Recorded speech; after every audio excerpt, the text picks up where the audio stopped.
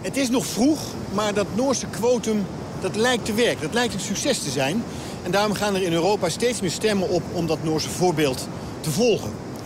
Veel, vooral succesvolle vrouwen, vinden dat vreselijk. De gedachte alleen al. Zij willen gekozen worden omdat ze goed zijn en niet omdat ze vrouw zijn. Er is er eentje die daar helemaal geen problemen mee heeft.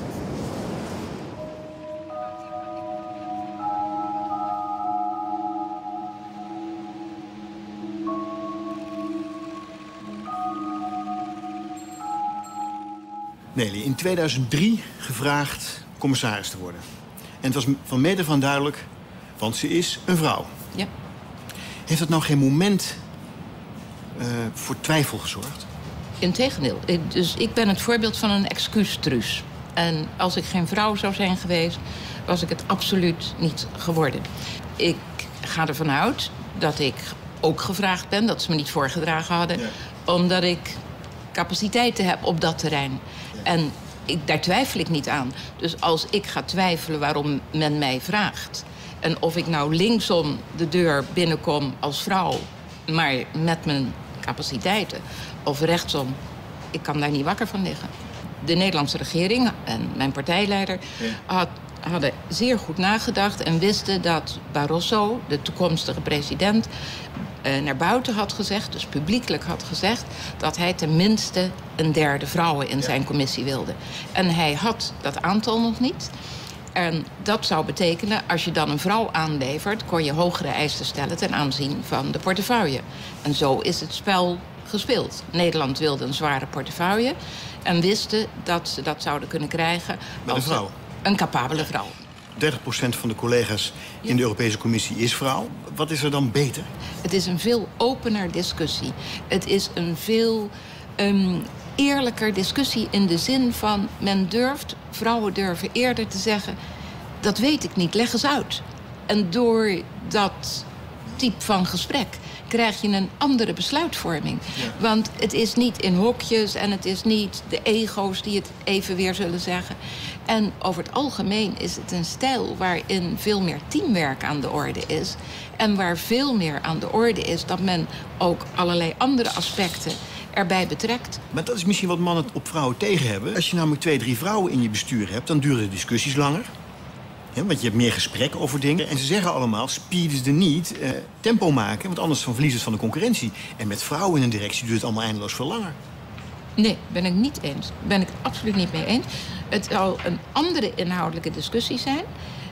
Um, het duurt niet langer. Een vrouw vergadert over het algemeen efficiënter. Praat minder over voetbal misschien. En dat ja, scheelt. En, en heeft minder behoefte om eerst haar eigen ego uitgebreid enzovoort.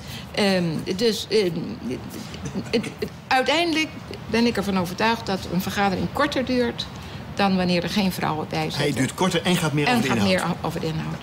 Sinds, sinds, eigenlijk sinds een paar jaar ben je een zeer fanatieke voorvechter van een kwotumregeling. Waarom?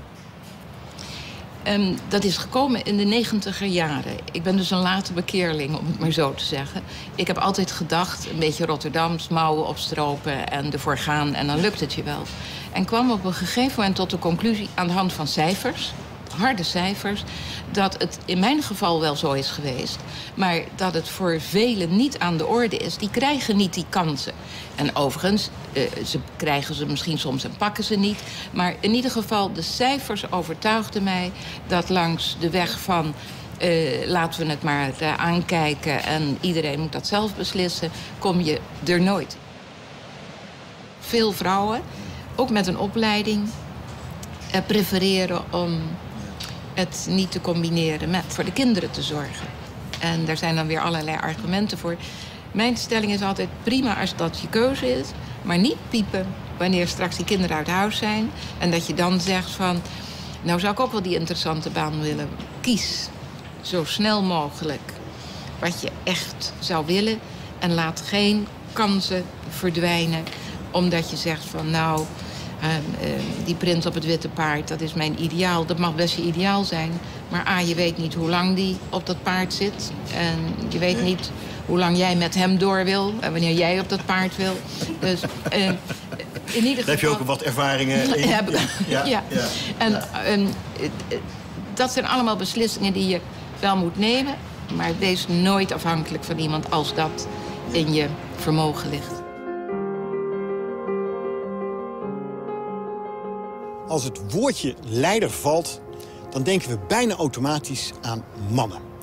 En het wordt natuurlijk hoog tijd dat dat nou eens een keertje gaat veranderen. Lang was het argument dat vrouwen onvoldoende opgeleid waren. Maar dat is natuurlijk onzin, zeker in een land als Nederland. Vrouwen zijn inmiddels minstens zo goed opgeleid als mannen. Bovendien stapelen de bewijzen zich op. Een divers bestuur, een bestuur met meer vrouwen, is succesvoller. Toch hebben mannen grote moeite met het uitnodigen van vrouwen in hun bestuur. Dat komt denk ik omdat het te maken heeft met een soort van vooroordeel... dat vrouwen voor meer discussie zorgen, voor inefficiëntie. Maar klopt dat wel? Of gaat het nu juist over iets heel anders? Zijn vrouwen, omdat ze minder last hebben van hun ego... meer gefocust op samenwerken, op kennis delen. En kunnen ze er zo voor zorgen dat veel discussies veel inhoudelijker worden. Veel efficiënter. Voorwaarde is natuurlijk wel dat je dan meer vrouwen in het bestuur hebt.